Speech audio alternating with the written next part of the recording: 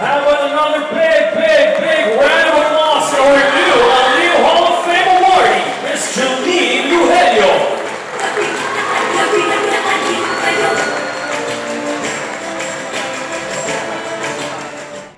Tatay sa industriya.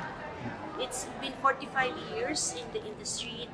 This is my 45th year in the industry and I'd like to thank you, tatay ko. Yung naka-discover sa akin is Mr. Ramon Choying of Wea Records, now known to be Universal Records. And uh, Beliatan, of course, di ba? We were really the partners and uh, Peter Chan. Thank you, thank you, thank you so much, uh, Tatay Ramon, and you will always be my tatay. And um, Kanino mo pinadedicate? ito, I have, I have a dream.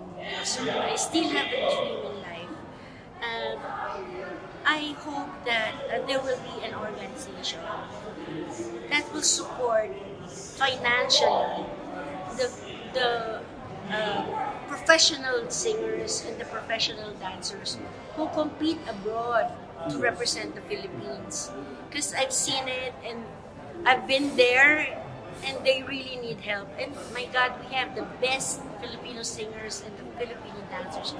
Nananalo tayo talaga, pero the support should be done.